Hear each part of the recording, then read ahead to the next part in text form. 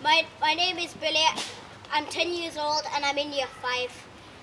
My favourite moment of, um, I like film I like film club because because you can have fun while doing one of my favourite subjects. My favourite moment was probably when we was doing the Great Robbery 2.